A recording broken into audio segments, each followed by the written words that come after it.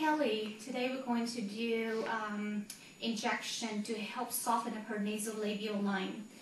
Um, so we're going to use some Juvederm. Because she has such strong um, prominence uh, features on her face, um, the nasolabial fold is quite defined.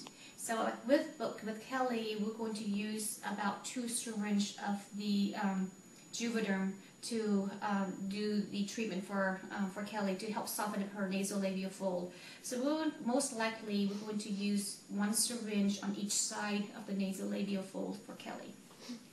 So what I'm going to be doing is I'm going to inject the Juvederm right underneath her skin surface area.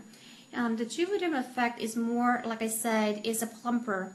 It's not going into the muscles. It has no dynamic action, uh, soft relaxing the muscles. What it is is just kind of plump up the area right underneath her skin, dermal layer, to give it more softening effect to the face.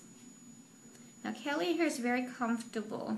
And this is because number one, we did a nerve block for her as well as lidocaine um, in the injection here uh, as part of the product uh, with Juvederm. Are you okay with that? I actually feel nothing at all.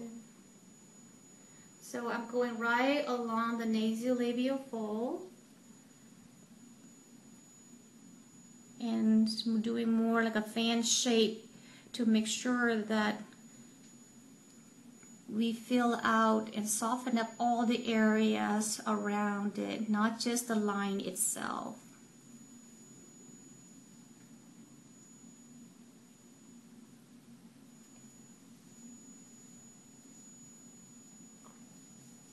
Open your mouth for me and then relax.